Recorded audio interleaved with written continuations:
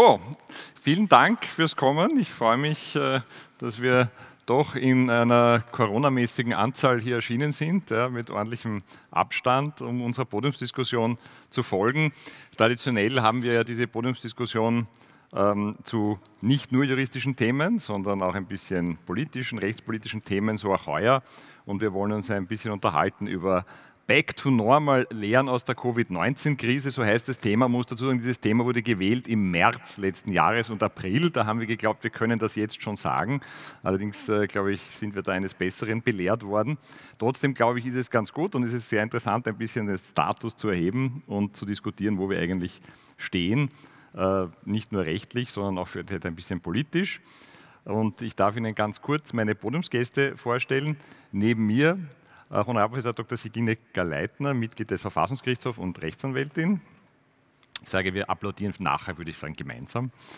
Ähm, dann darf ich sehr herzlich begrüßen den Frau Universitätsprofessor Dr. Magdalena Pöschl, Universitätsprofessorin der Universität Wien am Institut für Staats- und Verwaltungsrecht. Herzlich willkommen.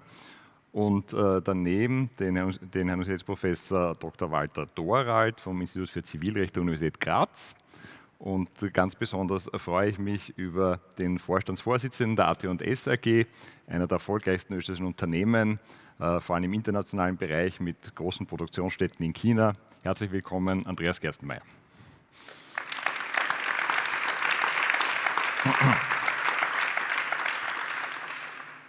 Ja, vielleicht darf ich gleich mal beginnen, weil wir gesagt haben Status quo und doch mit einem rechtlichen Thema, nämlich äh, wir haben ja eine VfGH-Entscheidung zum äh, Covid-Maßnahmengesetz bekommen, die hat äh, doch zu vielerlei Punkten Stellung genommen. Unter anderem hat sie ja bestätigt, dass die Entschädigungen, die in diesem Gesetz nicht enthalten waren, sondern im alten Epidemiegesetz, dass das verfassungskonform ist, weil es ja auch allerlei Hilfsleistungen daneben gibt. Und äh, es ist ja auch drinnen entsprechend beurteilt worden, dass eigentlich die gesetzliche Grundlage für, die, für, für, das Verbot der Betretung von bestimmten Arbeitsstätten, Betriebsstätten und sonstigen Orten verfassungskonform ist, aber dann nicht die ausführende Verordnung, die eben dann eigentlich nicht gesagt hat, du darfst nicht bestimmte Orte betreten, sondern du musst zu Hause bleiben, außer wenn bestimmte äh, bestimmte Voraussetzungen vorliegen oder auch das Thema behandelt hat, das ja auch sehr spannend war und äh, diskutiert wurde, sehr intensiv hinsichtlich der Geschäftsräumlichkeiten, wo da gesagt wurde, über 400 Quadratmeter darf man nicht mehr aufmachen, aber Baumärkte auf einmal schon und das, war, hat man sowieso nicht so ganz verstanden. Und da würde es natürlich einmal sehr interessieren, wenn wir die schon da haben, vielleicht wenn du uns ein bisschen mehr erläutern kannst und Einblicke gibst, was denn da so die Erwägungen waren. Ja, vielen Dank. Ähm, vielleicht möchte ich, ich möchte vorausschicken, äh, dass wir am Verfassungsgerichtshof natürlich uns immer nur mit den einzelnen Anträgen, so wie sie zu uns hereinkommen, befassen können. Also wir, wir machen ja keine Generalstellungnahme, äh, wie ist das Gesetz oder wie sind die Verordnungen insgesamt zu behandeln äh, oder zu betrachten, sondern wir haben immer von einem konkreten Antrag auszugehen. Äh, und in dem Fall waren es lauter Individualanträge. Das heißt, da muss die Voraussetzung gegeben sein, dass dieses Gesetz wirksam wird, quasi ohne, also ohne weiteren Schritt unmittelbar wirksam ist, derjenige aktuell betroffen ist von der Rechtslage. Und äh, da war von uns einmal schon die erste Hürde zu nehmen, dass die Gesetze bzw. Verordnungen teilweise ja im 14-Tage-Rhythmus außer Kraft getreten sind. Und hier haben wir eine Neuerung äh, äh, entschieden, nämlich dass wir gesagt haben, auch wenn das Gesetz bei unserer Entscheidung bereits außer Kraft, tritt, äh, außer Kraft getreten ist äh, oder die Verordnung, dass wir das trotzdem noch prüfen, weil wir haben es hier mit den eigentlich äh, stärksten Grundrechtseingriffen, eigentlich kann man sagen, seit weiß ich nicht, wie viel zig Jahren zu tun. Also ich, mir ist überhaupt keine in meiner juristischen Laufbahn erinnerlich äh, eine so starke Grundrechtsbeschränkung, wie wir sie hier erleben. Und daher äh, wollen wir dazu auch was sagen, wenn solche Individualanträge kommen. Äh, natürlich können wir bei diesen Individualanträgen aber nur punktuell die Bedenken behandeln, die derjenige Antragsteller aufwirft. Das heißt, wir können jetzt nicht sagen, aber wir haben eigentlich andere Bedenken, äh, die der Antragsteller uns gar nicht vorgelegt hat. Wir sind da in diesem sozusagen Verfahrensregime an die Bedenken gebunden, die der äh, uns vorlegt, der bei uns einen Antrag stellt. Und daher muss man dann die Entscheidung auch so verstehen, sozusagen, dass sie nicht jetzt alles abdeckt, sondern nur zu den Bedenken, die der, der Antragsteller uns gestellt hat. Und die erste Frage war natürlich, kann ein Gesetz wie das Covid-Maßnahmengesetz so unbestimmt sein und mhm. einfach sagen, ja, durch Verordnung kann es so eine weitreichende Verordnungsermächtigung erlassen und sagen, ja, der Minister soll einfach verordnen, was zu geschehen hat, was alles geschlossen wird etc., soweit es nur erforderlich ist, um die Ausbreitung dieser Krankheit ähm, äh, zu verhindern. Und wir sind da den Weg gegangen, dass wir gesagt haben, zumindest diese Verordnungsermächtigung, was die Betriebsstätten betrifft, äh, war uns quasi ausreichend äh, bestimmt. Ähm, und der Weg, den wir gegangen sind, war aber, dass wir gesagt haben, wenn der Verordnungsgeber, aber der Minister so eine weitreichende Macht bekommt, äh, einschränkende Maßnahmen zu verhängen, dann hat er das eben verhältnismäßig zu tun und dann hat er das auch entsprechend zu dokumentieren. Das heißt, wenn solche Verordnungen erlassen werden, dann muss im Verordnungsakt genau dokumentiert sein, äh, was war die Ausbreitungslage der Krankheit, was hat man befürchtet, warum war genau diese Maßnahme erforderlich etc., damit dann die Rechtmäßigkeit dieser Maßnahme auch überprüft werden kann von uns. Mhm, mhm. Und das war halt nicht gegeben, das war weder bei den 400 Quadratmetern äh, gegeben und das muss man jetzt schon sagen, so ein Verordnungsakt, das ist schon sage ich mal, ein bisschen äh, beeindruckend, wenn man dann sieht, dass in dem Verordnungsakt nur irgendwelche E-Mails drinnen sind, dass die Bundesregierung irgendwas haben will und das jetzt verordnet ja. wird. Ja? Äh, und das Tatsachenmaterial, warum glaube ich jetzt, ich muss erst mhm. ab 400 Quadratmeter oder ich darf nicht aufsperren, wenn ich größer bin als 400 Quadratmeter etc., dass da überhaupt keine Erwägungen äh, vom Verordnungsgeber quasi ersichtlich sind. Und wir haben uns hat sozusagen dieses Modell jetzt zurechtgelegt, dass das jedenfalls dokumentiert sein muss, damit man dann im Nachhinein auch sagen kann, na, war das jetzt übergreifend und war das zu weitgehend ähm, oder nicht. Das heißt, es wird jetzt sehr stark auf den Verordnungsgeber ankommen, dass er das so macht, dass man ähm, hier auch die Grundrechtseinschränkung und die Angemessenheit der Einschränkung mhm. auch prüfen kann. Ähm, natürlich muss einem schon klar sein, und das ist deswegen glaube ich, ist es auch, also für uns war es sehr schwer, weil das ja Einschränkungen sind, die auch in anderen Fällen dann kommen können. Also man muss jetzt nicht, nicht immer nur von Covid-19 ausgehen, sondern man kann ja sicher auch andere Situationen vorstellen, genau. wo dann ein Minister ganz gern eine Ausgangssperre verordnen möchte. Äh, das heißt, das muss man ja auch im Hinterkopf haben.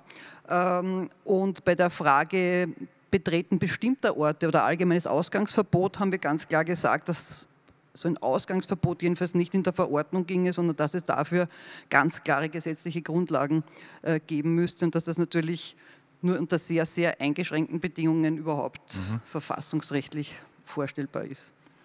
Also wenn man dem Minister schon die Macht gibt, das Land zuzusperren mit einer Verordnung, ne, dann muss er schon ein bisschen abwägen zwischen Grundrechtseingriff und öffentlichem Interesse und das auch nachvollziehbar darlegen, sodass es auch über eine Überprüfung standhält. Ne. Das ist beruhigend eigentlich. Ja, also ich weiß sagen. nicht, ich bin noch nicht beruhigt, ehrlich gesagt, aber, äh, aber es ist halt zumindest eine, man versucht halt durch Verfahren, quasi eine Legitimation auch durch Verfahren äh, zu bekommen in einer Situation, wo das Tatsachensubstrat halt so schwierig ist, weil wer von uns kann jetzt wirklich genau sagen, welche Maßnahme äh, jetzt wirklich äh, adäquat und angebracht ist. Und wir haben auch hineingeschrieben, dass mit zunehmender Dauer dieser Krise der Maßstab jedenfalls strenger wird. Also sozusagen, wenn das jetzt auftritt und in den ersten 14 Tagen äh, kann man da sicher sozusagen großzügiger sein als nach sechs Monaten oder acht Monaten. Und man muss natürlich schon sagen, dass auch jetzt noch Verordnungen gemacht werden, wo nichts dokumentiert wird. Zum Beispiel, das ist mir nicht nachvollziehbar. Mhm. Also das müsste man jetzt, würde ich meinen, diese Verfahrenslegitimation müsste jetzt schon eingehalten werden äh, wenn man schon weiß, okay, das ist jetzt erforderlich, dass ich diese, diese Tatsachensubstrate auch wirklich, wirklich dokumentiere. Und vielleicht darf ich nur ein, ja. ein Wort zu dieser Entschädigungsfrage sagen. Es ist natürlich äh, klar, dass die Unternehmen darauf gehofft haben, diese Entschädigung nach dem Epidemiegesetz zu bekommen mit dem vollen äh, Umsatzausfall etc. Äh, hier der, der, Sachverhalt, der uns da aber vorgelegen ist, äh, ist natürlich so, dass wir das beurteilen müssen, quasi gibt es ein verfassungsrechtliches Gebot, in so einer Situation ein Unternehmen immer zu 100 Prozent zu entschädigen.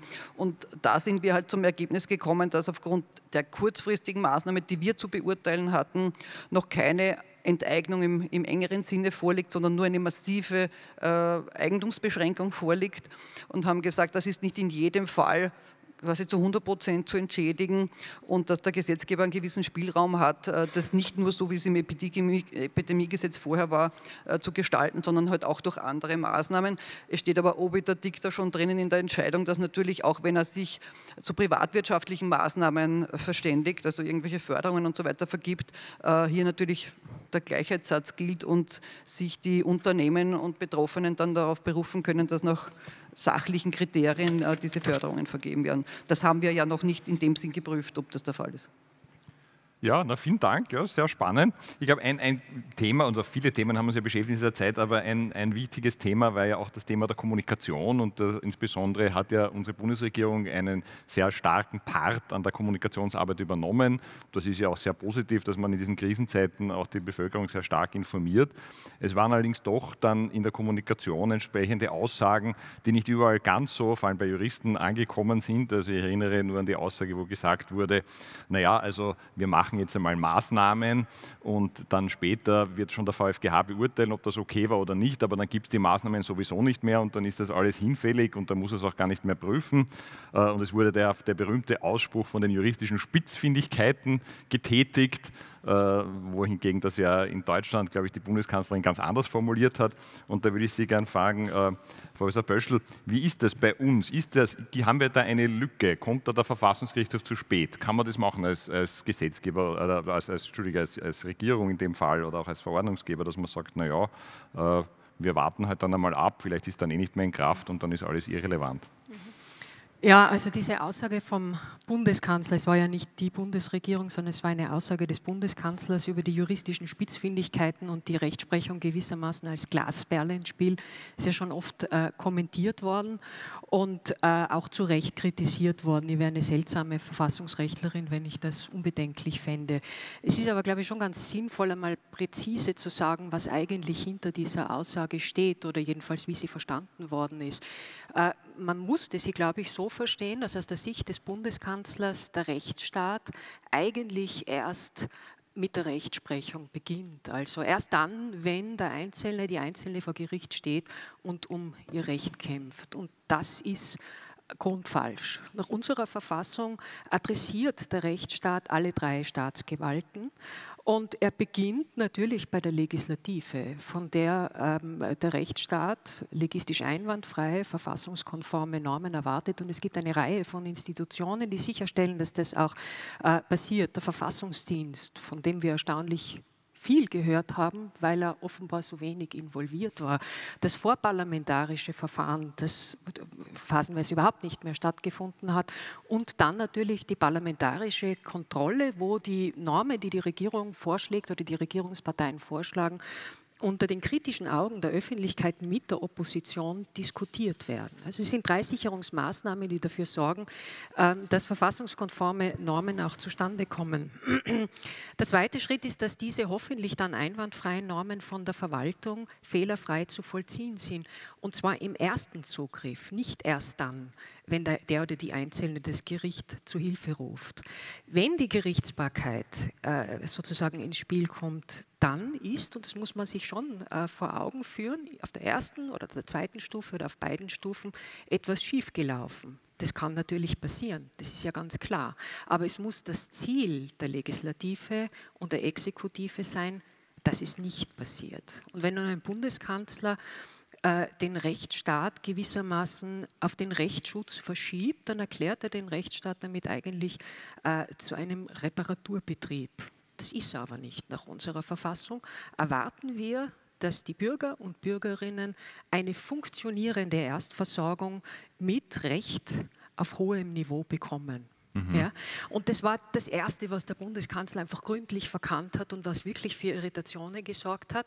Das Zweite war, dass man zum damaligen Zeitpunkt noch befürchten musste, dass der VfGH nach seiner bis dahin bestehenden Judikatur Individualanträge gegen die Corona-Normen zurückweist mit dem Argument, die sind ja nicht mehr in Kraft. Also bist du nicht mehr aktuell betroffen, lieber Antragsteller von dieser Norm und damit verlierst du deine Antragslegitimation. wenn man diese Judikatur jetzt nimmt in Verbindung mit der Haltung äh, des Bundeskanzlers, der den Rechtsstaat auf den Rechtsschutz verschiebt, dann läuft der Rechtsstaat natürlich wirklich leer, weil die Legislative und die Exekutive fühlen sich nur zu raschem Handeln äh, berufen und sagen, wir lassen uns da nicht aufhalten von verfassungsrechtlichen Vorgaben. Äh, Rechtsstaat ist eine Sache des Rechtsschutzes und der kommt dann halt leider zu spät. Äh, man kann den VfGH nicht äh, hoch genug dafür loben, dass er äh, hier Flagge gezeigt hat, muss ich sagen, und dass er diese Prognose des Bundeskanzlers ähm, sozusagen ihrerseits ins Leere laufen hat lassen, Individualanträge als auch dann als zulässig akzeptiert hat, wenn die Normen bereits außer Kraft getreten sind, was ja ganz typisch für Krisennormen ist.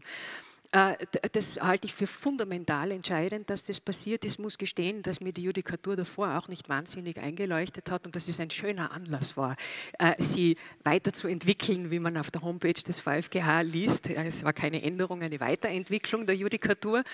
Äh, das ist deshalb so wichtig, weil es den Bürgern und Bürgerinnen Genugtuung verschafft. Wenn einfach festgestellt wird, dass die Norm rechtswidrig war und weil es ihr Vertrauen in den Rechtsstaat ein Stück weit hoffentlich wiederherstellt und weil es auch für die Zukunft den Weg weist. Klar ist aber schon, die Freiheitsverluste, die wochenlang passiert sind auf der Basis einer rechtswidrigen Verordnung, die kann der VfGH nicht wiedergutmachen.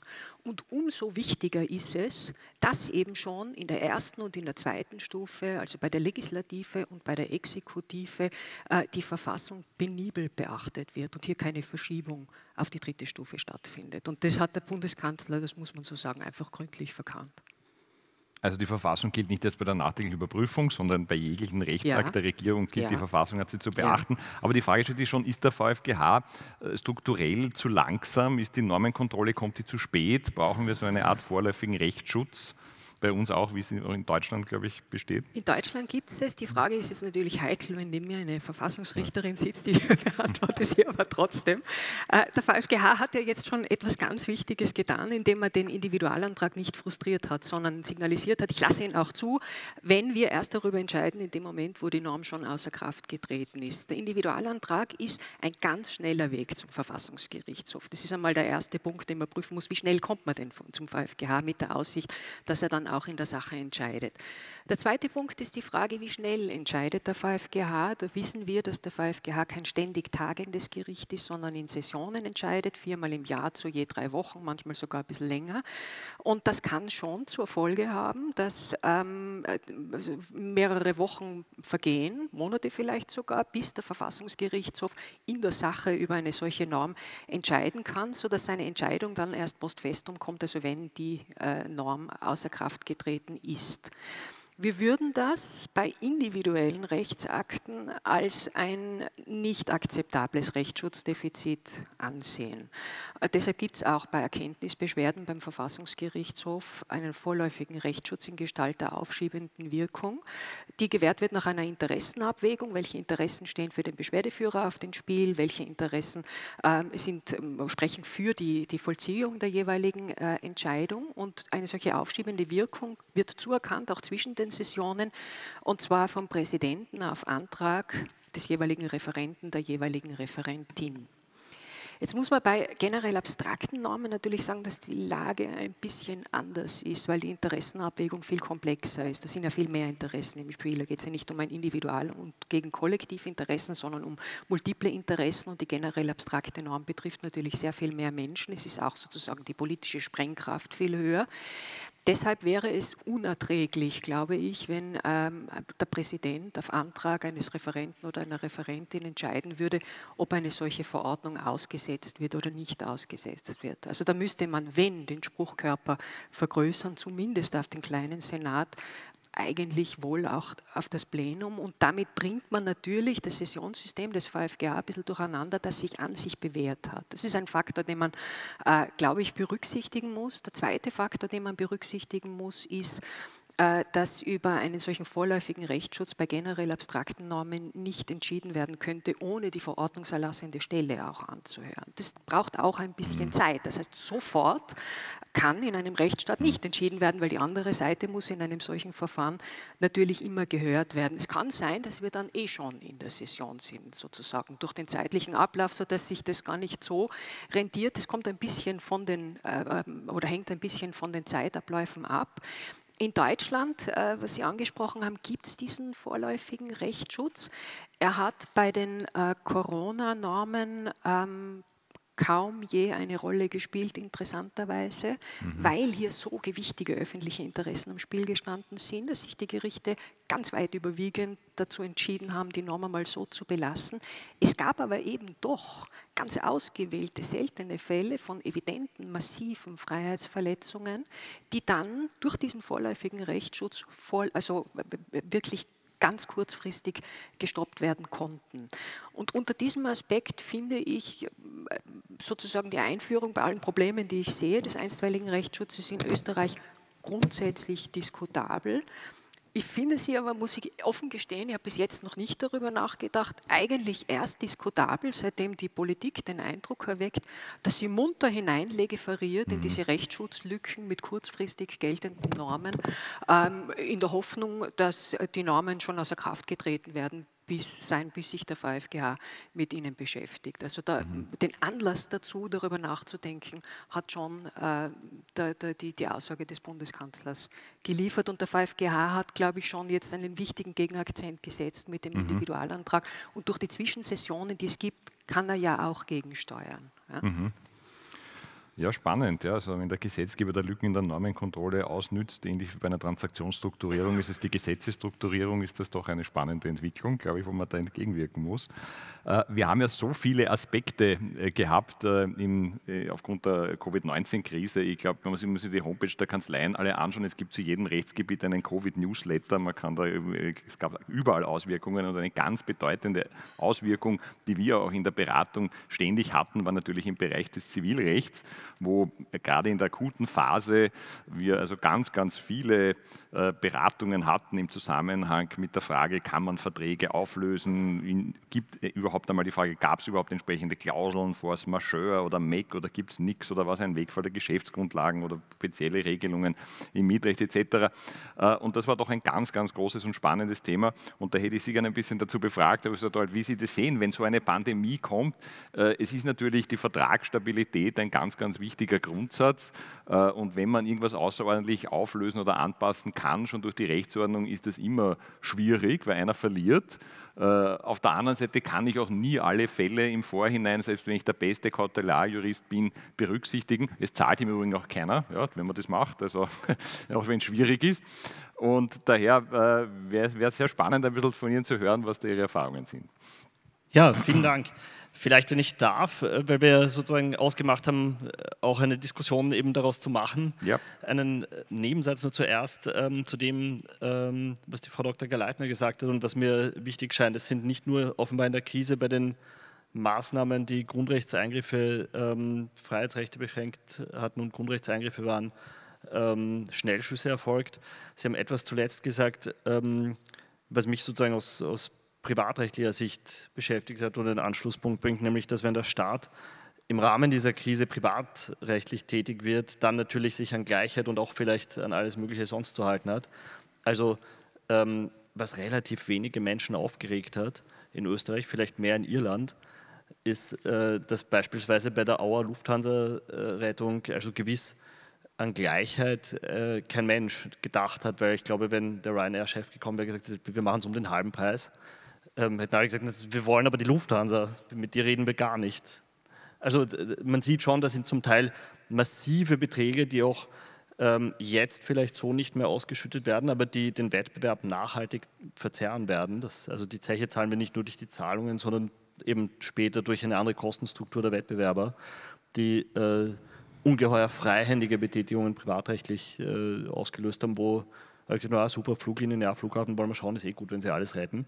Mhm. Das ist oft etwas unreflektiert. Aber damit zu, zum Vertragsrecht ja, natürlich. Ja. Erstens ist da immer aus meiner Sicht gerade für internationale äh, Kontexte die Frage, die zu wenig gesehen wird, was auch unsere Schuld äh, an den Unis ist, weil wir so unterrichten, welches Recht ist überhaupt anwendbar. Und für diese Fragen ist es verblüffend, wie sehr im Vertragsrecht in Europa ganz unterschiedliche Regelungen für diese ganz zentralen Punkte teils mit zwingendem Recht vorhanden sind. Also das muss man, das schiebe ich jetzt beiseite fürs Weitere, weil es jetzt für uns nicht zentral ist, aber praktisch, wenn man sich fragt, man hat irgendeinen internationalen Vertrag. Wir haben gerade heute im Übernahmerechtskontext etwas gehabt ähm, in der Session am Vormittag zu Breakfees, ähm, wenn Verhandlungen abgebrochen werden. Also zum Beispiel, da gibt es Gestaltungen, die der Kollege aus äh, Frankfurt vorgestellt hat, die in Österreich schlicht wegen zwingenden vertragsrechtlichen Grenzen bei der Vertragsstrafe so nicht halten würden. Eine Break-Fee von 250 Millionen oder von einer Milliarde, Fälle, die er hatte. Ähm, wo bei uns einfach die Vertragsstrafe sagen würde, so läuft es nicht, kann immer gemindert werden. Also anwendbares Recht, erster Punkt, der mhm. zentral ist. Und ähm, damit zu dem, was Sie schon gesagt haben, was die Mandanten nicht zahlen, worüber wir auch gesprochen hatten. Also genau, die ökonomische Literatur streitet in der Abstrakt noch immer, kann man Verträge überhaupt vollständig fassen? Hm. Der Streit ist, glaube ich, ein theoretischer, weil jedenfalls praktisch die Kosten ex ante der Gestaltung, also je mehr man sich an der Vollständigkeit annähert, exorbitant zunehmen und auch rein rational nicht sinnvoll sind. Das ist also uns würde es jetzt nicht so stören. Ne? Genau, das wollte ich gerade sagen. Also das ist unter Umständen ganz gut für die Billables. Andererseits, mein Gefühl ist, hier sind alle eh sehr ausgelastet. Also ähm, wenn wir den Dr. Hasenauer nicht klonen können, dann ja ähm, viermal so viele Billables kann er, wenn er überleben will, nicht auf Dauer liefern. Es ist, äh, wir haben viele in der Kanzlei. Gut, also, aber das ist natürlich ein Aspekt. Ähm, deswegen glaube ich, man muss sich fragen, was sind zum Beispiel Geschäftsgrundlagenfälle? Und ich habe das immer so ähm, eingeordnet, dass ich sage, ein Fall, wo wir über den Wegfall der Geschäftsgrundlage nachdenken, ist nichts anderes als eine Lücke im Vertrag. Also normalerweise würden wir sagen, entweder die Parteien haben das Risiko, das eingetreten ist, einer Seite zugewiesen. Dann haben wir das Problem nicht. Also ich kann nicht sagen, Risiko der Ölpreissteigerung trägt Käuferseite für irgendetwas, was relevant ist bei den Produktionskosten und dann steigt der Ölpreis sehr stark und kann ich sagen, na Moment, so stark habe ich gehofft, dass es nicht passiert. Also das ist sehr einfach. Ähm, Im Grunde, wenn ein Risiko wirklich zugewiesen ist, dann muss man es eben auch tragen. Mhm. Und wenn das nicht gemacht ist, dann gibt es ausnahmsweise manchmal im besonderen Vertragsrecht im Gesetz eine Regelung, wie zum Beispiel im ABGB nicht im allgemeinen Schuldrecht, was eine echte Schwäche ist, auch verglichen mit Frankreich, mit Italien, mit äh, Deutschland, mit ähm, Belgien, mit den Unidroit-Prinzipien, also mit im Grunde vielen Regelwerken, die zeigen, ein bisschen mehr kann man schon hineinschreiben als nichts. Und äh, dafür haben wir es aber in einem praktisch wichtigen Bereich gehabt, was in dem Punkt visionär ist, nämlich im Mietrecht, dass eben mhm. für solchen ähm, Kriege die Regel drin ist, im Grunde, wenn man es nicht verwenden kann, das Geschäftslokal, dann ähm, ist die Miete nicht geschuldet und das entschärft sozusagen die Schwäche im allgemeinen Schulrecht. Aber wenn in beiden Bereichen zufällig nichts zu finden ist für den Vertrag, um den es uns geht, dann müssen wir uns über äh, Wegfall der Geschäftsgrundlage den Kopf zerbrechen. Und dabei fällt uns in Österreich massiv auf den Kopf, dass wir ein kleines Land sind und dass wir zu wenig Rechtsprechung haben. Deswegen. Und ähm, völlig unreflektiert kann man in dem Punkt nicht leicht aus anderen Ländern übernehmen, weil dort ein Teil kodifiziert ist. Mhm. Und also insofern, man, man kommt sozusagen meistens gut trotzdem durch, aber wann ist denn jetzt unzumutbar für jemanden den Vertrag unverändert fortzusetzen? Muss das so sein, dass man in den Ruin getrieben wird, wenn man fortsetzt und nur dann raus darf? Oder genügt es, dass es schon eine dramatisch schlimme Kostenentwicklung ist? Oder brauche ich ein öffentlich-rechtliches Verbot, dass ich eben diese Tätigkeit jetzt gar nicht derzeit ausüben darf und daher findet es nicht statt. Also das sind Sachen, wo sozusagen der Gesetzgeber uns im allgemeinen Schulrecht äh, im Stich lässt und vielleicht ähm, ohne Krise auch kein Druck im System ist, dass man das einmal regelt. Aber das könnte man. Und das ist in vielen Teilen, jedenfalls im bürgerlichen Recht so, da, da wäre Potenzial, das Schulrecht einmal zu entstauben und das Haus in Ordnung zu bringen. Vielleicht ist die Krise insofern ein guter Anlass. Mhm. Ja, na, sehr spannend. Also ich glaube, da wird noch vieles auf uns zukommen. Ja, auch, auch äh, vielleicht unter Umständen im streitigen Bereich, kann ich durchaus vorhersehen wahrscheinlich. Ähm, aber jetzt würde ich doch noch äh, sehr gerne zu Ihnen kommen, Herr Gerstenmeier. Sie sozusagen hier, ich hoffe, Sie fühlen sich bei all den Juristen trotzdem halbwegs wohl unter uns, ja, weil äh, wir wirklich sehr äh, gespannt sind zu hören, wie eigentlich ein äh, so global agierendes Unternehmen wie Ihres die Krise gemeistert hat, insbesondere auch mit Ihrer starken äh, Connection nach Asien und doch mit dem, äh, muss man sagen, sehr global agierenden Geschäft. Und es ist ja eine globale Krise. Also wenn Sie uns da ein bisschen Einblicke geben könnten, würde uns das sehr freuen. Ja, gerne. Ja, ich denke, unsere Aufstellung hat uns bei der Bewältigung der, der ganzen Geschichte eher geholfen als geschadet. Ähm, wir waren ja sehr früh betroffen Und vielleicht hole ich da ein bisschen weiter aus, weil heute wissen wir alle ganz genau, was da alles notwendig war und so weiter und so fort. Äh, damals war die Situation ja durchaus eine andere. Ähm, interessanterweise, und das ist vielleicht auch der Erfahrung der Vergangenheit geschuldet, haben unsere Mitarbeiter in China bereits im Dezember begonnen, sich mit dem Thema zu beschäftigen, aus den Learnings, die man damals aus der SARS-Krise mhm. gezogen hatte. Wir hatten Gott sei Dank in China entsprechende Prozeduren äh, etabliert, die eine, eine doch entsprechendes Sensorium hatten, um sehr früh Indikatoren aufzunehmen, dass man, da kommt irgendwas, da müssen wir uns vorbereiten. Ich, ich habe im Dezember vor Weihnachten einen Anruf aus China bekommen von unserem, einem unserer Manager.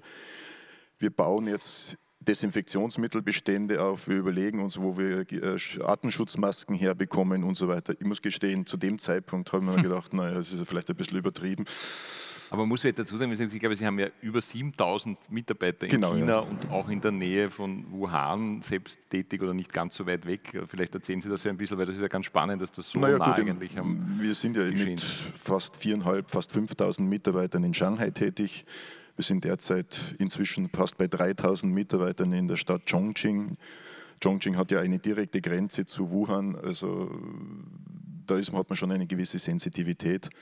Und ja, wir sind ja auch dort intensiv am Investieren und am Ausbauen, Werke in Betrieb zu nehmen und so weiter. Also das ist, das ist ein ganzer Komplex, der uns natürlich zusätzlich beschäftigt. Ähm, wir haben in der Krise dann relativ schnell gesehen, ab Januar, dass wir, dass wir es doch mit einer größeren Gesundheitskrise zu tun haben. Und das war die erste Phase, was tun in dieser Situation. Äh, und da war ganz, ganz klar der, der Fokus, wie stellen wir sicher, dass der Betrieb aufrechterhalten bleibt oder wiederhergestellt wird. Die, der, der, Peak war ja in China um das Chinese New Year herum, wo man ja dann entschieden hat, aufgrund eine Woche ist sowieso in der Regel alles stillgelegt. Man verlängert Chinese New Year um ein, zwei Wochen und versucht so den, die, die Situation in den Griff zu bekommen. Auch dort waren wir gezwungen, teilweise unsere Werke zu schließen, weil wir einfach per Verordnung die Mitarbeiter nicht mehr in die Werke gebracht haben. Es wurde ja der komplette öffentliche Transport eingestellt und es durfte sich ja keiner mehr von A nach B bewegen. Interessanterweise aber haben wir es immerhin geschafft, ein Werk in Chongqing weiterlaufen zu lassen, weil wir dort niemals eine, eine Chinese New Year Break eingebaut hatten. Also wir haben natürlich sehr, sehr viele Maßnahmen ergriffen. Also lange vor der Politik, auch in, in China hatten wir bereits Eingangskontrollen, Artenschutzmasken, Desinfektion und, und, und, und, und. Und hatten dort auch dann der, der Behörde vor Ort nachgewiesen, wir haben ein sicheres Umfeld und wir sind der Meinung, wir haben alle Maßnahmen ergriffen, um weiter produzieren zu können. Das haben sie uns abgenommen für das eine Werk in Chongqing. Die anderen beiden, die ja ein paar Tage zu waren, mussten dann auch zwei Wochen zu sein aber aufgrund von sehr intensiven Arbeiten und da wurden über Nacht oft hunderte von Dokumenten erzeugt, alleine schon nachzuvollziehen, wo Mitarbeiter sich die letzten zwei, drei Wochen bewegt haben. Wir mussten für jeden Mitarbeiter quasi einen Steckbrief mhm. erarbeiten. Wo war der überall? War der in der Nähe von Wuhan? War er nicht? Äh, wo, wo hat er sich bewegt? Und auf dem Wege konnten wir dann doch nach zwei, drei Wochen alle Werke wieder in Betrieb nehmen. Also wir waren sicherlich eine der Firmen, die dort am schnellsten wieder am Laufen war. Mhm. Zu dem Zeitpunkt hat in Österreich noch kein Mensch über das Thema gesprochen. Da ist irgendwas in China und das ist schwierig und ja. Was mich so überrascht hat in der gesamten Situation ist, wir haben ja über verschiedenste Kanäle immer wieder auch den Hinweis auch Richtung unserer Politik, unserer äh, Interessenvertretungen gegeben, Achtung, bereitet euch vor, da kann was passieren. Das ist komplett vorbeigelaufen. Wir haben aus der, aus der Erfahrung natürlich die gleichen Schlüsse jetzt auf alle anderen Werke gezogen. Wir haben gleiche Maßnahmen schon im Februar dann in den österreichischen Werken eingeführt. Wir haben unsere Bestände eben an all diesen Schutzmaterialien aufgestockt. Äh, wir haben das gleiche in Indien gemacht, in Korea gemacht. Selbst dort war es auch bei den Mitarbeitern so, dass wir im ersten Moment, für was brauchen wir das? Das ist ja nicht notwendig. Jetzt sind wir da an der Grenze, was man vorhin im Unternehmen tut, man sich da ein bisschen leichter. Da kann man halt eine Verordnung auch mal verordnen ohne Begründung.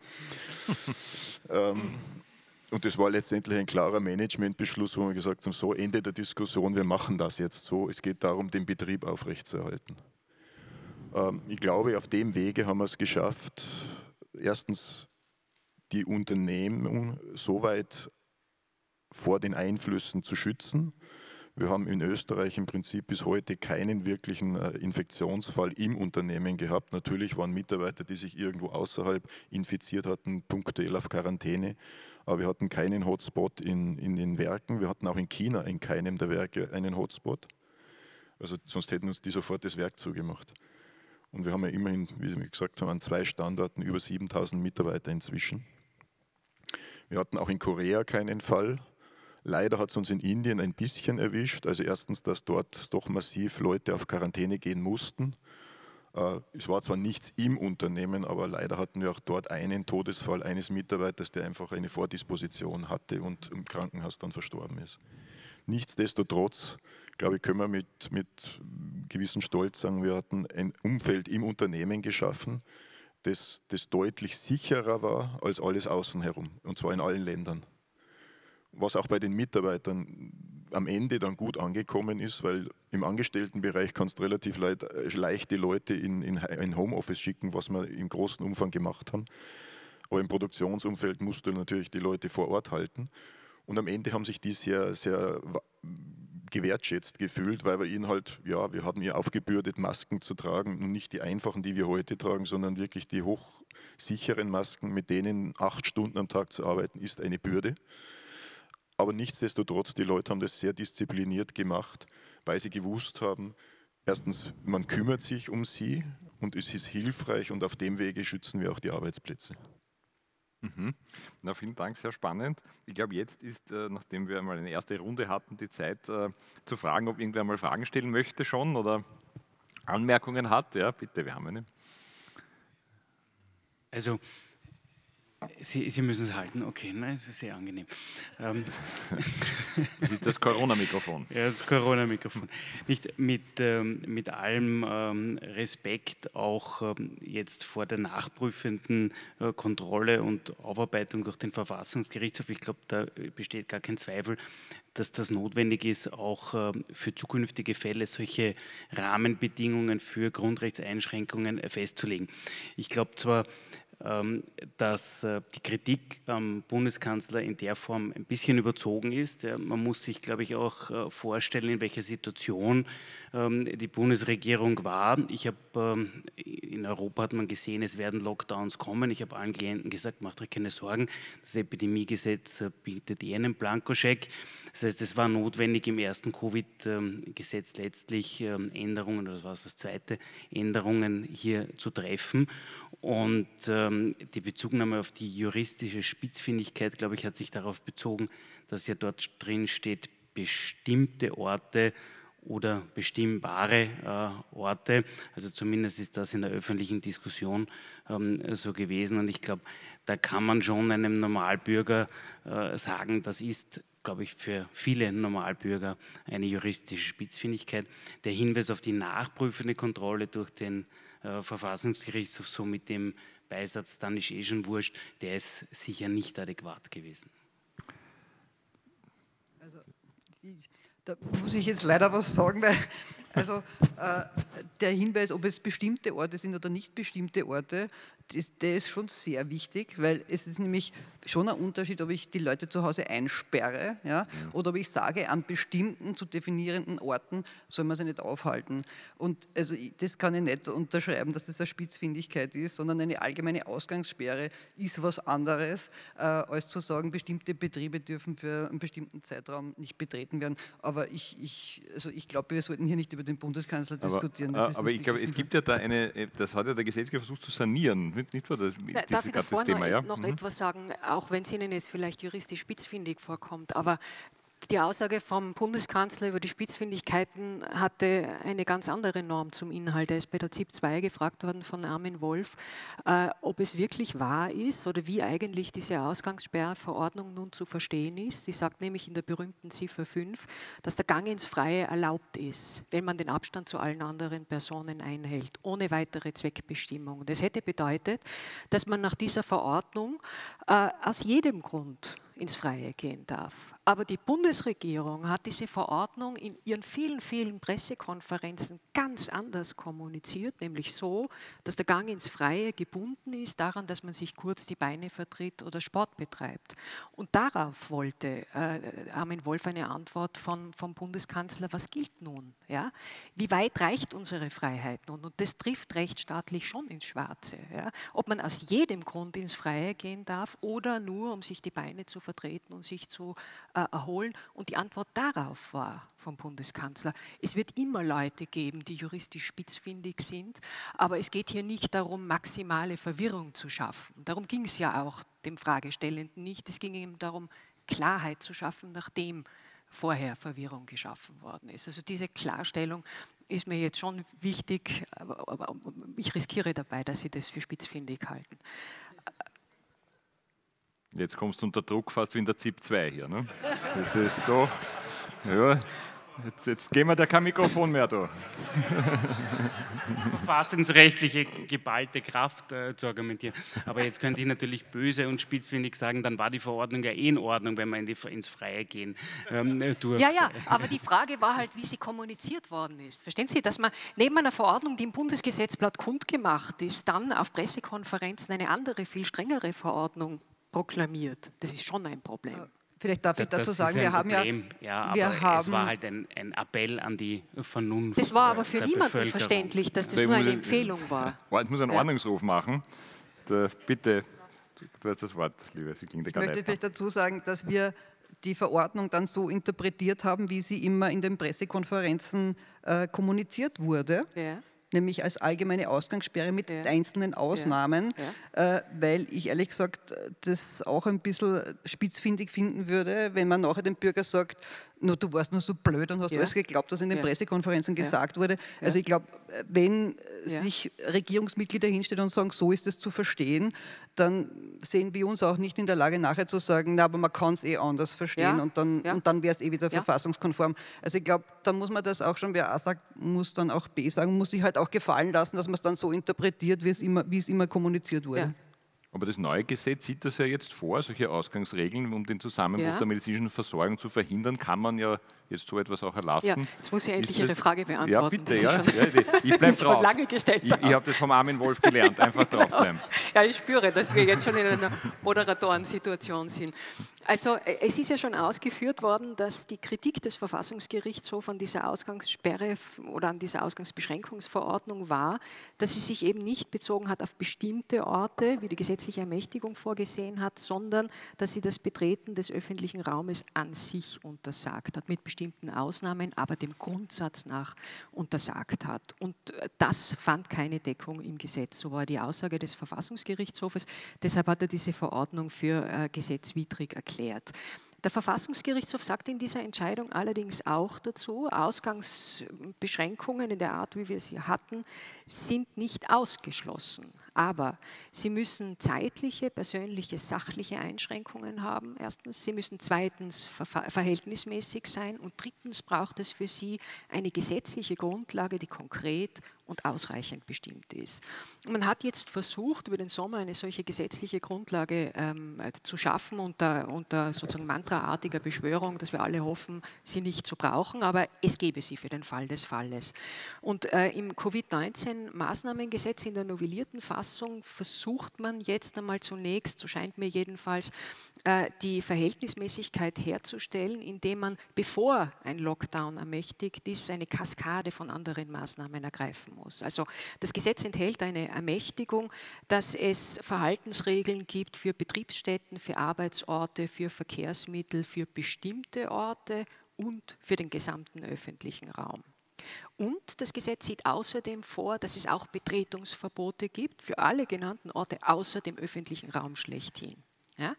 Ähm, und alle diese Maßnahmen müssen ähm, eingesetzt werden, um zu verhindern, dass sich Covid-19 verbreitet und sie müssen zur Erreichung dieses sicher legitimen Zieles auch erforderlich sein. Mich wundert, dass das Gesetz nicht dazu sagt, dass diese Maßnahmen auch angemessen sein müssen, also in einem ausgewogenen Verhältnis stehen müssen zum Ziel. Das muss man sich dazu denken, kann man. Aber es ist ein bisschen seltsam, dass man es dazu denken muss.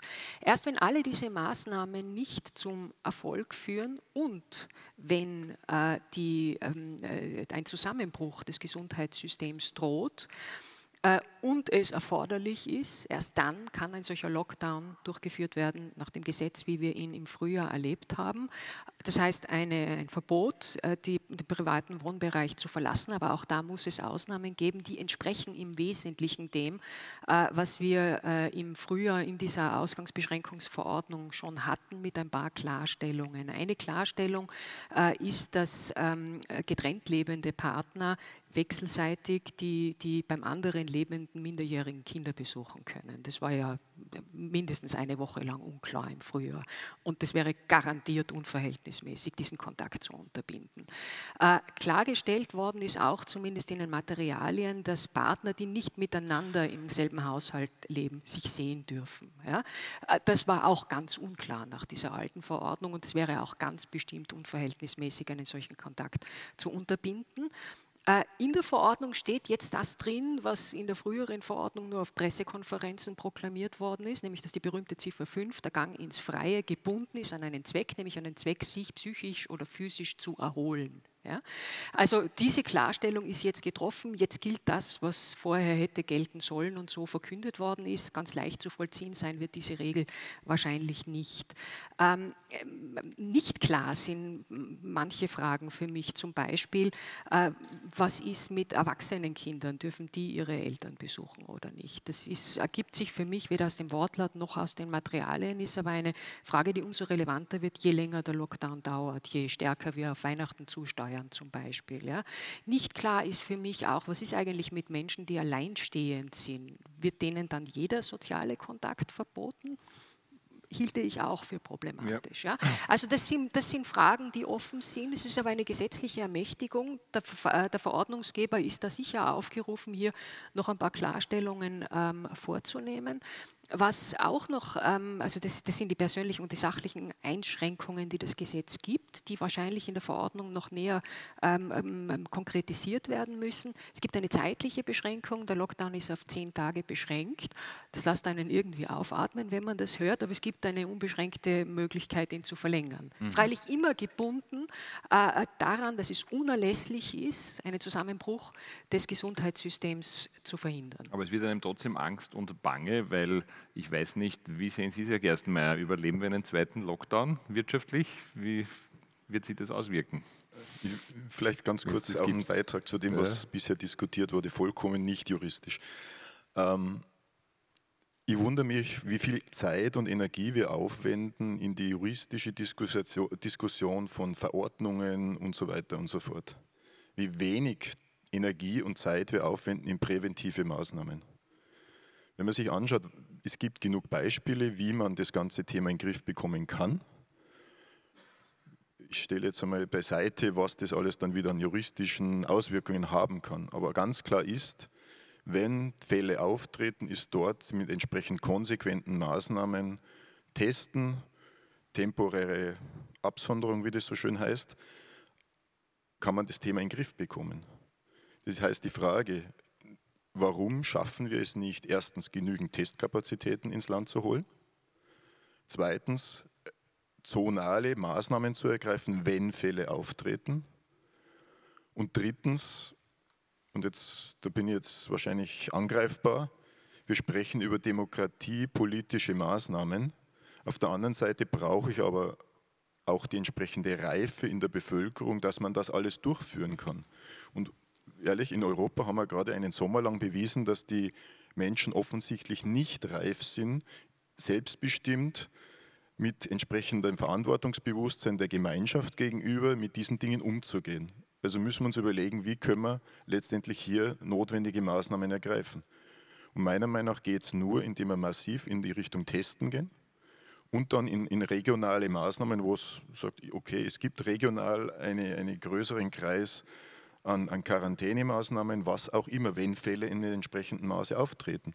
Die Idee der Corona-Ampel, die jetzt so ein bisschen ins Lächerliche gezogen wurde, geht genau in die richtige Richtung. Die ist nur politisch meiner Meinung nach zu Tode geredet worden und verhindert worden. Das wäre genau der richtige Weg zu sagen, ich habe einen Hotspot, wenn man jetzt in Österreich schaut, es gibt auch Wien ist nicht Wien, da wird es Bereiche geben, die wichtiger sind oder kritischer sind, andere, die weniger kritisch sind. Die kann man identifizieren und es ist nachgewiesen, wenn man diese, erstens die Leute dort schnellstens durchtestet, die Infizierten letztendlich in Quarantäne schickt, dann habe ich das innerhalb kürzester Zeit im Griff. Und diese Diskussion findet nicht statt. Wir reden über alle möglichen juristischen Rahmenbedingungen, die wir schaffen müssen, bis wir überhaupt irgendwas tun können. Also ehrlich gesagt, wir machen uns momentan das Leben selbst schwer. Und jetzt komme ich zurück auf Ihre Frage. Mhm. Nein, wir können es uns nicht leisten, einen zweiten Lockdown zu haben. Wir haben heute schon Schäden, die in irre Summen gehen, die aber vermeidbar gewesen wären. Erstens haben wir viel zu spät reagiert in Europa. Das war alles erkennbar. Und das sage ich jetzt nicht im Nachhinein. Ich habe diese Diskussionen, was ich vorhin angesprochen habe, bereits im März geführt. Wir haben wochenendenweise, nächteweise diskutiert mit verschiedensten politischen Partnern, um zu vermeiden, dass wir auch die Industrie herunterfahren. Das war spitz auf Knopf. Wenn das passiert wäre, dann hätten wir heute ein ganz anderes Problem als das, was wir derzeit besichtigen. Aktuell haben wir eine Wirtschaftskrise, die im Wesentlichen den Dienstleistungssektor betrifft noch nicht den, den Investitionsgüterbereich. Aber wir haben vorhin im Vorfeld schon besprochen, je länger diese ganzen Geschichten hier dauern, umso kritischer wird es, dass es dann auch in den Investitionsgüterbereich überschwappt. Und wenn man die, die ganzen Studien der, der Ökonomen anschaut, es wird immer von dieser V-förmigen Erholung gesprochen. Am Anfang hatten wir die, die findet aber nicht mehr statt. Wir hatten diesen großen Einschnitt, wir hatten dann eine leichte Erholung und momentan haben wir eine seit Monaten währende Seitwärtsbewegung und zum Teil auch leichte Tendenzen wieder nach unten. Also die Gefahr, dass wir zurückfallen, weil eben der Investitionsgüterbereich in den nächsten Monaten noch stärker betroffen sein wird, der in der Vergangenheit gestützt wurde von Sonderkonjunktureffekten, die man auch begründen kann. Letztendlich haben die Leute aufgrund der Reisebeschränkungen viel Geld nicht ausgeben können. Sie konnten nicht auf Urlaub fahren, sie konnten sich kaum bewegen, haben Geld gespart und haben sich in dieser Situation Dinge gegönnt, eben Investitionsgüter. Die haben in Autos investiert, sie haben in Kommunikationsinfrastruktur investiert, sie haben in, in Erneuerung ums, in der Wohnung, um, ums Häusliche sich investiert. Das ist aber endend. Das ist keine unendliche Geschichte. Das heißt, diesen Sonderkonjunktureffekt, den wir die letzten Monate erlebt haben, der dem Investitionsgüterbereich geholfen hat, der wird irgendwann auslaufen. Und man sieht es bereits, denn alle Prognosen, die wir heute sehen, gehen eher ins Negative die, die Prognosestimmung in den Unternehmen, in der Industrie ist eher negativ, gerade in den letzten Wochen ökonomischen Kennziffern gehen eher leicht nach unten, das heißt der Erholungseffekt geht zurück. Wenn dann jetzt noch arbeitsmarktstützende Maßnahmen zu Ende gehen, im Januar die Kurzarbeitsmodelle und, und, und, dann steht zu befürchten, dass wir dort in eine zweite, noch massivere Rezession fallen. Und im Vergleich zur Krise 2008, wo wir eine Investitionsgüterkrise hatten am Ende, wurden damals aber sehr viele Arbeitskräfte, die frei geworden sind, vom Dienstleistungssektor aufgefangen. Das wird diesmal nicht stattfinden, weil genau der Dienstleistungssektor mhm. der ist, der am schwersten betroffen ist. Das heißt, es steht zu befürchten, dass das, was aus, den, aus, den, aus, die, aus der Investitionsgüterindustrie überbleibt, wirklich in die Arbeitslosigkeit geht. Ja, so, jetzt gehen wir nach Hause mit diesem Ausblick, oder? wir haben, glaube ich, noch, Professor Deutsch, Sie wollten, glaube ich, noch was sagen, oder? Oder ja, wir die Frage? gerne, nur, nur ganz kurz, ähm, weil ich auf der einen Seite sehr erfrischend finde, dass Sie sagen, also wir sollten uns nicht nur mit der Aufarbeitung beschäftigen, sondern es ist äh, wirklich frustrierend zu sehen, dass die Testkapazitäten nicht hergestellt sind. Ich, ich kenne drei Beispiele in meinem direkten Umfeld und äh, hier war es nicht mein erster Test, wo ich bei Reisen zuletzt äh, Testangebote hatte, gratis wahrzunehmen, das ist völlig reibungslos, also wirklich ohne Wartezeit, ohne alles an großen Flughäfen funktioniert hat, außerhalb Österreichs und auch mhm. gelaufen ist. Ein bisschen gedauert beim Ergebnis in Wien äh, und auch in Graz kann es bis zu einer Woche jetzt noch immer dauern. Dass das im März nicht da war, verstehe ich noch halbwegs. Dass es jetzt nicht da ist, halte ich für ein Versagen. Aber dafür muss ich natürlich, so sehr ich das auch genau teile und mir denke, warum macht man nicht die Maßnahmen zielgerichtet, ich bin nicht sicher, ob sich sozusagen ähm, die Kritik besser das statt Aufarbeitung ohnehin deckt mit dem, was ähm, man juristisch sagen kann. Nämlich, ähm, wenn zielgerichtet getestet würde und dann isoliert wird und diese Maßnahmen kommen, dann haben wir genau das, was eigentlich auch verfassungsrechtlich, vermute ich, so wage ich mich Ganz jetzt einmal genau. aufs Glatteis ja. des ja. öffentlichen Rechts, haben nämlich die Angemessenheit und dann passt. Und dieses Versagen, egal sozusagen wie die Kommunikation noch schiefgelaufen ist, das äh, werfe ich persönlich jedenfalls der Politik schon vor, weil dass wir heute noch immer zum Teil eine Woche warten auf Tests, das ist sozusagen Managementaufgabe der Politiker in der Krise. Da, also da hätte ich mir mehr Lieferung gewünscht. Die, mhm. die, auf die warten wir und die kann uns tatsächlich einen zweiten und dritten Lockdown bringen. Und den zahlen wir dann alle und sehr schwer. Mhm. Ich glaube, es war noch eine. Vielen Dank fürs Warten. Ja. Also ich muss mich auch den Herrn Gerstenmeier anschließen im Prinzip testen, testen, testen ist im Prinzip die Lösung. Und was ich jetzt nicht verstehe, ist, warum die neuen äh, Maßnahmengesetze, soweit ich weiß, auch darauf keinerlei Rücksicht nehmen. Also ich denke zum Beispiel Gastronomie, ähm, die werden jetzt mit kürzeren Schließungen und so weiter immer mehr runtergekämpft bzw.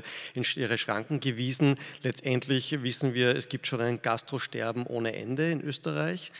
Ähm, wie ist es denn, so wie äh, Romy Feist es uns sozusagen hier vorgezeigt hat, ähm, mit diesen Schnelltests? Ja? Wenn ich jetzt beispielsweise als Gastrobetrieb nachweise, meine, meine Gäste können sich 15 Minuten im Freien aufhalten, ich teste sie alle durch, lasse sie alle gesund herein. Ja?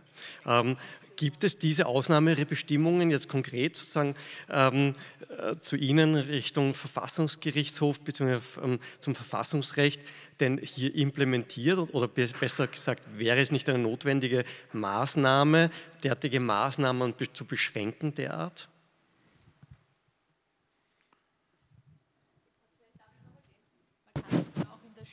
man kann sich ja auch in der Schule nicht freitesten. Du kriegst, wenn du, wenn du Kontaktperson 1 bist, gibt es die Quarantäne für die zehn Tage. Und wenn man sich testen, das Kind testen würde und es wäre negativ, dürfte es trotzdem nicht in die Schule. Das passt da auch vielleicht ganz gut. Ja, ich habe ausgemacht mit dem Clemens, dass ich nichts sage zu so, Sachen, ja. Moment, die noch kommen an den Verfassungsbereich. Das wird ja vielleicht noch herangetragen werden. Und ich kann daher, aber wir sind ja 14 Richter, wie Sie wissen, und was ich sage, ist irrelevant in dem Zusammenhang.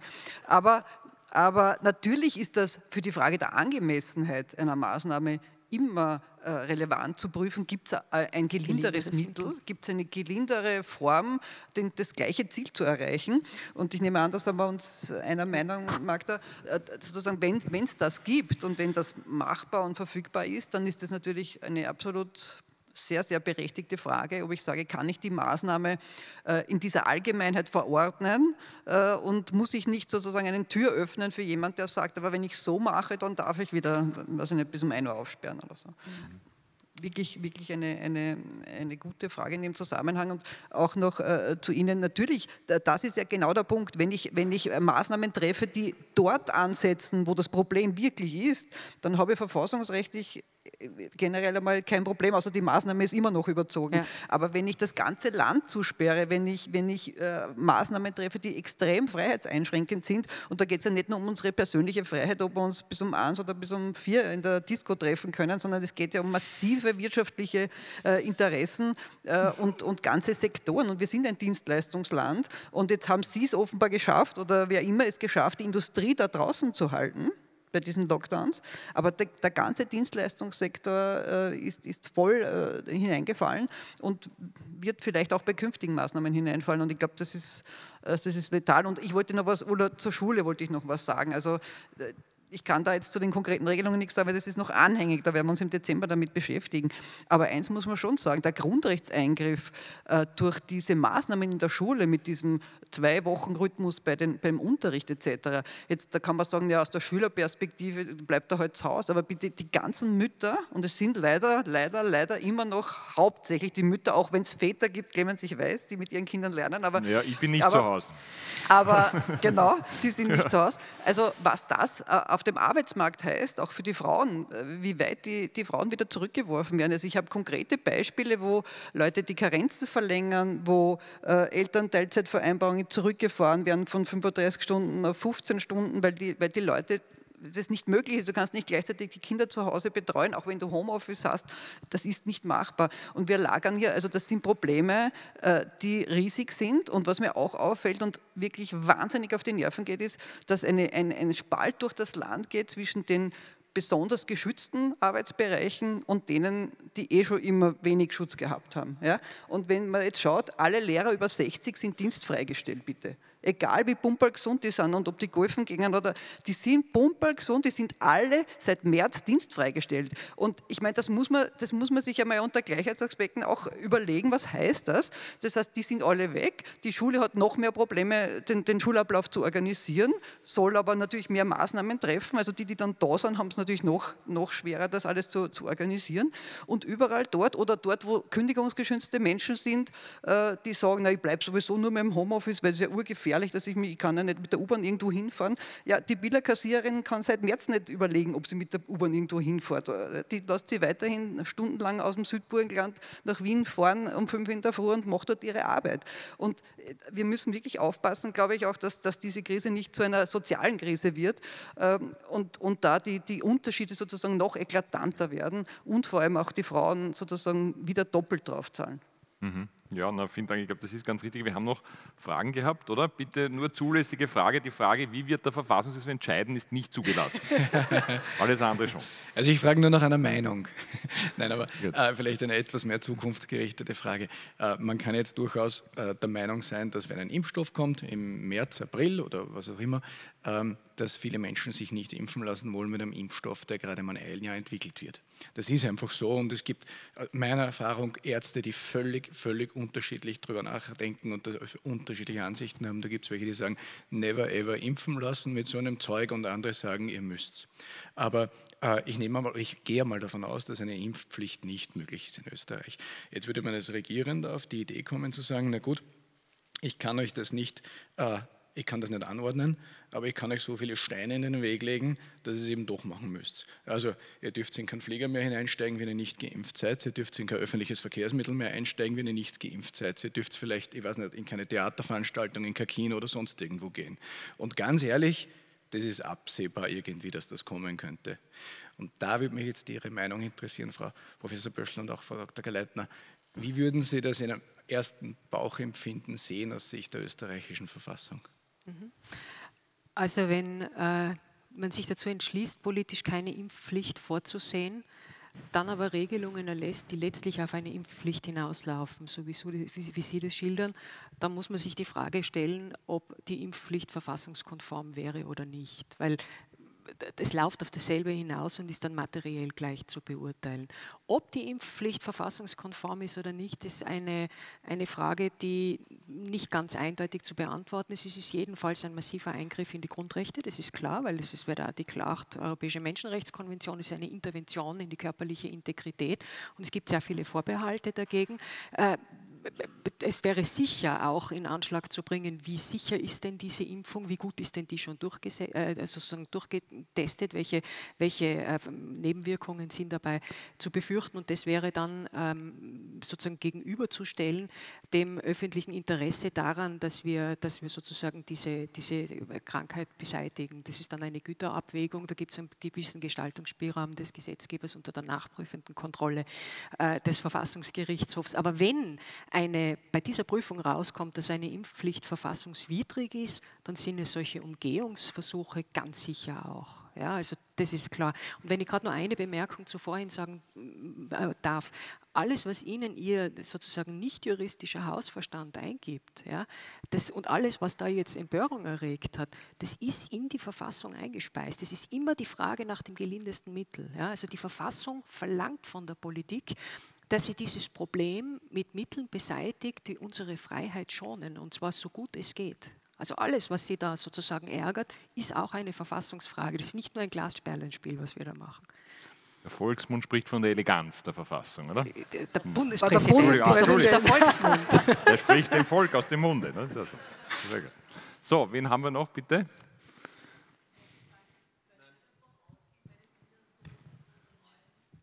Was haben wir ein Mikrofon? Achso, war zuerst, Entschuldigung. So. Ich bin, also, bitte. Ist nicht so tragisch. ich wollte nur Anmerkungen machen zum Thema Angemessenheit. Ähm, Herr Gerstenmeier, wir haben sehr ähnliche Erfahrungen gemacht. Wir haben äh, drei Werke in Singapur mit 6000 Leuten. Ähm, die Regierung hat dort ganz selbstverständlich gesagt, wenn es einen Corona-Fall gibt, dann seid ihr zu. Punkt. Und da war es auch keine Diskussion, Bewegungsprofile anzulegen, den Mitarbeitern genau zu sagen, was los ist. Das war dort angemessen. Und wir haben auf den Philippinen ähm, Entertainment-Dinge im Betriebsgelände gemacht und haben mit den Leuten dort vereinbart, dass sie im 14-Tages-Rhythmus wechseln. Die sind 14 Tage nicht nach Hause gekommen. Das war möglich und es haben alle mitgezogen dabei. Das heißt, ähm, mir scheint schon, dass das Thema Angemessenheit bei uns mit einer, wie soll ich sagen, ein bisschen einer Empörungskultur äh, verbunden ist, wo man sehr schnell zu einer Unangemessenheit von Maßnahmen kommt, wo man manchmal auch die Individuen unterschätzt. Also ich muss sagen, wir haben diese Erfahrungen jetzt nicht nur im Ausland, aber was hier manchmal unter dem Thema Angemessenheit diskutiert wird, ist doch eher überraschend. Ich weiß nicht, sehen Sie das auch so? Es ist immer die Frage der Perspektive. Wenn man, wenn man sozusagen China vor Augen hat, ja. ja. ja. Warte, wir müssen da die Reihenfolge strikt einhalten. Wer ist jetzt dran? Naja, also, Entschuldigung. Auch das Thema Angemessenheit. Ich meine, mir erschrecken Reden zu Beginn der Krise, aber auch erst vor zwei Tagen die Budgetrede. Ich meine, am Anfang sagen wir, koste es, was es wolle. Jetzt sagen wir, 21 Milliarden Verschuldung können wir uns leisten. Ich meine, dass dort nicht eine Diskussion anhebt. Ich meine, wir verlagern hier Verschuldungsgrade einer, einer Nation auf Generationen. Und so leichtfertig, das können wir uns leisten. Wer soll sich denn leisten am Ende des Tages? Wir sicher nimmer. Das muss irgendwer erarbeiten, das Ganze. Aber das ist angemessen. Also diesen Schaden können wir verursachen aufgrund von, ich sage jetzt zum Teil auch Versäumnissen. Das ist ja auch eine Frage der Angemessenheit. Also den ja nicht die Regierung trägt, den trägt ja die Bevölkerung am Ende des Tages und die Generationen. Also sollte man vielleicht in den Begriff Angemessenheit auch mal mit aufnehmen diese Betrachtung. Ja, natürlich. Und ist es angemessen, relativ pauschal äh, Steuerstundungen, Sozialversicherungsstundungen zu gewähren, äh, Kurzarbeit zu gewähren, äh, massive finanzielle Mittel zur Verfügung zu stellen oder auch durch rechtliche Maßnahmen Insolvenzantragspflichten auszusetzen oder aufzuschieben. Das hat ja alles massive Kostenauswirkungen und wird sehr gießkannenmäßig undifferenziert vorgenommen. Aber das wird man dann auch sehen. Ne? Aber ich muss, glaube ich, jetzt die Redner einteilen. Entschuldigung, wer ist, wer ist dran? Ja, nein, ergänze jetzt noch dazu, das wird sich natürlich massiv auswirken auf, auf die gesunden Unternehmen, nicht? Wenn ich die Kranken weiterhin so stütze, wird das nicht zum Vorteil der schon Gesunden sein. Aber das, wie gesagt, da können wir wahrscheinlich leider alle jetzt nur zuschauen. Ähm, ich wollte eine ganz banale Frage stellen für uns Anwälte. Können wir davon ausgehen, bei weiteren Lockdowns, dass wir wieder trotzdem ausgenommen sein werden? Die Anwaltskammer hat mir das noch nicht be irgendwie eine Meinung dazu geäußert, ob wir wieder als im Dienst der Rechtspflege auch hinausgehen dürfen. Also jetzt arbeiten nämlich. genau, irgendwer naja. muss Beschwerden machen. Fragen wir den Nationalrat und fragen wir das Gesundheitsministerium, oder? Wie das dann sein wird. Also, ich glaube, es gibt noch keine Indikation, aber ich würde sagen, es spricht doch vieles dafür, ne, dass sich das nicht so stark ändern wird. Ja. Aber man wird sehen. Außer es weiß hier irgendwer. Sehr gut. Gibt es sonst noch irgendwelche Fragen oder Entschuldigung? Ich würde einfach nochmal gerne anregen, jetzt haben wir so viel in Grau in Grau gemalt. Ich meine, es gibt ja durchaus auch Methoden, wie wir aus dem ganzen Schlamassel wieder rauskommen können. Und es gibt auch durchaus Handlungsfelder, wo man überlegen kann, wie, wie, wie reparieren wir denn das Ganze jetzt möglichst schnell. Also ich glaube, von der, von, der, von der politischen Seite her kann es nur sein, man muss sich zurückziehen auf das, dass man die entsprechenden Rahmenbedingungen schafft, dass das Land wieder erfolgreich wirtschaften kann auch international, im europäischen Kontext. Heißt, wir müssen dringend geeignete Maßnahmen, wie vorhin diskutiert, ergreifen, dass die Menschen geregelt ihrer Arbeit nachgehen können, dass wir wieder international reisen können und dass wir wieder unsere Geschäfte betreiben können. Ich glaube, an sich wäre das nicht so schwer und es gibt genug internationale Beispiele und Länder, in denen das genau so geht. Wir brauchen nur ich weiß schon, wir, wir diskutieren unter Demokratie-Gesichtspunkten immer über China. Nichtsdestotrotz, die Maßnahmen greifen dort und die Wirtschaft erholt sich in China. Wir haben dort dieses Jahr zwar einen Rückgang des, des BIPs, aber letztendlich sind die nach wie vor in einem Wachstumsszenario von 2 bis 3 Prozent, wohingegen Österreich irgendwo bei zwischen 7 und 8 Prozent negativ laufen wird. Europa ähnliche Größenordnungen.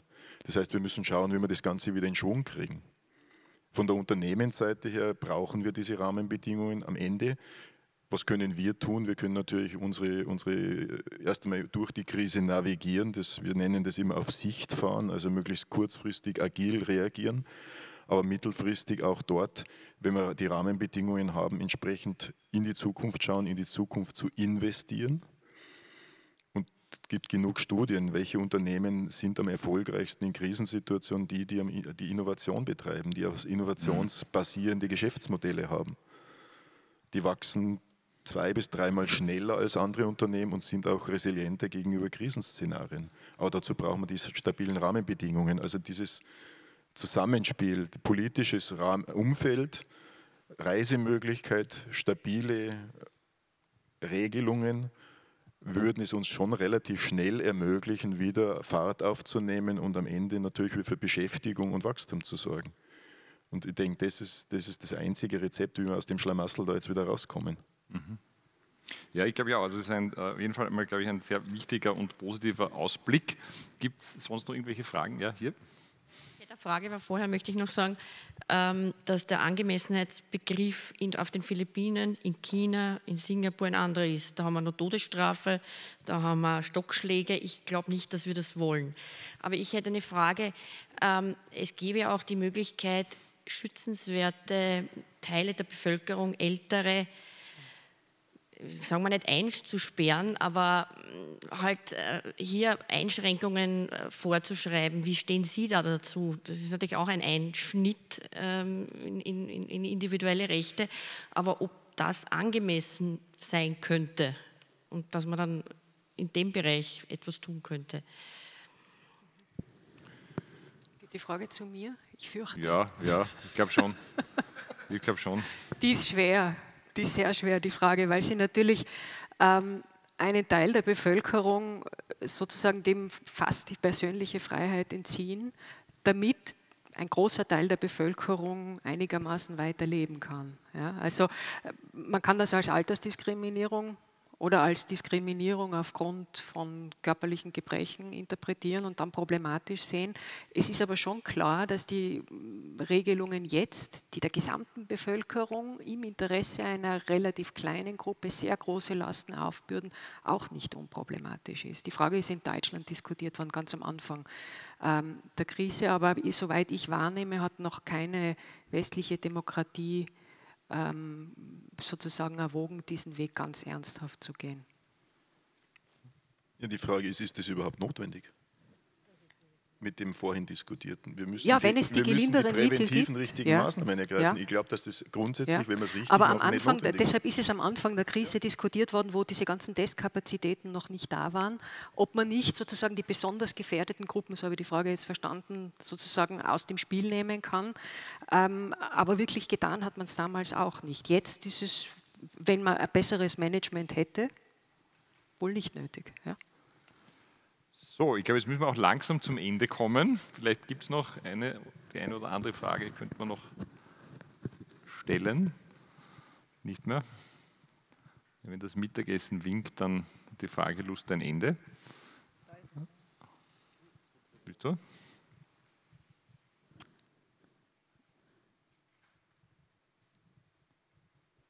Ich finde diese Idee der Prävention ganz, ganz gut. Ich bin aber nicht sicher, ob wir tatsächlich mit unserem Gesundheitssystem heute in der Lage sind, das tatsächlich so umzusetzen. Äh, weil äh, Business Circle hat sozusagen das da ganz hervorragend gemacht, aber dass ich jetzt in jedes Gasthaus äh, so ein Testteam versenden kann, das wird nicht funktionieren. Ich denke auch, dass das gar nicht notwendig ist. Die Frage ist, wie schaffen wir ein flächendeckendes Netz? Das hat natürlich, und da kommen wir jetzt wieder in die, in die juristische Seite hinein, das Thema Nachverfolgung von Bewegungsprofilen ist, wäre wichtig.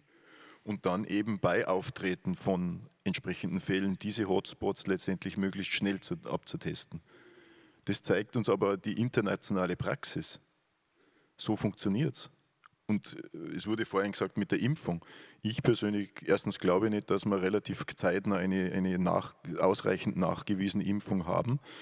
Und wir werden einfach lernen müssen, mit, dem, mit der Situation zu leben. Und diese Hypes, die wir heute haben, meiner Meinung nach ist es auch zum Teil ein Kommunikationshype, auch einer Regierung, die sich hinstellt und möglichst viel Panik verbreitet. Entschuldigung, wenn ich das mal so sage, weil mit sachlicher Argumentation hat vieles nichts mehr zu tun, sondern wir müssen überlegen, was sind die Maßnahmen, die notwendig sind und die hilfreich und wirksam sind, um die Situation zu managen. Und da kann es nicht sein, dass man permanent ein ganzes Land äh, niederfährt, sondern wir müssen uns daran gewöhnen, was sind wirksame Maßnahmen, die müssen ergriffen werden. Ende. Ja, sehr gut. Ich glaube, das wäre schon ein gutes Schlusswort. Außer es fühlt sich jemand noch ganz, ganz dringend bemüßigt, eine Frage zu stellen, aber Sie sehen an meiner Frage jetzt, das meine ich nicht ernst. Daher vielen, vielen Dank. Danke an die Podiumsgäste. Danke fürs Zuhören. Kommst du noch? Ich glaube, Romy, du kommst noch kurz. Ja? War das dein Schlusswort? Mein, das war mein Schlusswort. Ich darf mich äh, ganz persönlich bedanken äh, bei allen Teilnehmern, bei allen Vortragenden, bei meinen Podiumsgästen, aber ganz besonders auch bei dir, Romy, für, die, für diese wirklich äh, tolle Rust. Ich finde, die Stimmung war ganz großartig und, äh, und es ist auch, wie ich gesagt habe, schon eingangs, es ist wahnsinnig mutig, dass du das gemacht hast und der Erfolg gibt dir recht. Vielen Dank.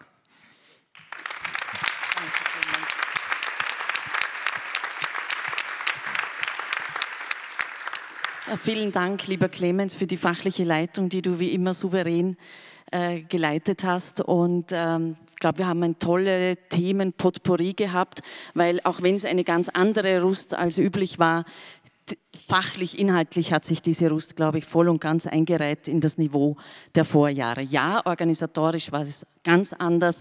Und ich möchte vielleicht noch einen Satz zu sagen ähm, zum Testen, weil Testen, Testen, Testen. Wir haben das gemacht und ich glaube, wir hatten auch einen guten Erfolg damit. Aber wir konnten, wir hätten noch ganz viele Leute mehr testen können, wenn die Unternehmen, ich nehme an, AT&S gehört nicht dazu, die Leute nicht in den Homeoffices einsperrt und sozusagen eine Ausgangssperre in betrieblicher Hinsicht äh, macht. Und äh, vielleicht einfach ein Appell, ein Appell an, in die Unternehmen hinein, euch betrifft es nicht, ihr seid da.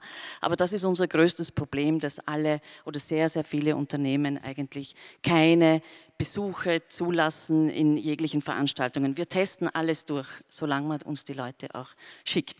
So, das war noch ein Appell dazu. Ich möchte mich bedanken bei allen, die dazu beigetragen haben, dass die Rust so gut verlaufen ist und auch, wie du sagst, mit bester Stimmung. Wir haben gestern das erste Mal eine Rust-Sitzparty gehabt am Abend, war auch sehr fein, finde ich.